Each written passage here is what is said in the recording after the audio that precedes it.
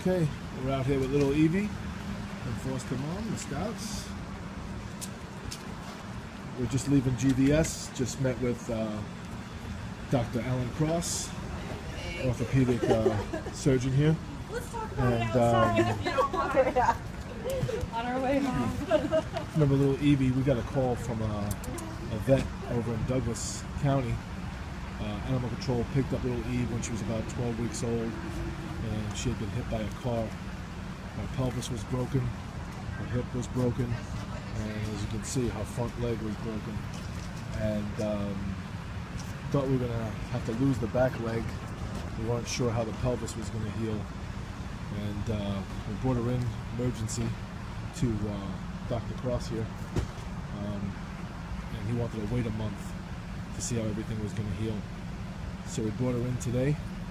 Uh, the pelvis is healed fine. The back leg is better than he ever expected, and he doesn't think that she's going to need surgery on that. And she's scheduled for August 1st to re-break her front leg. Come here, Mama. Let me see your front leg. Show everybody. See how it's twisted.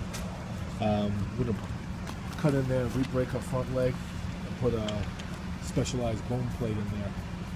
So she's gonna come in at seven o'clock in the morning on August first. Gonna bone plater and send her home the next day.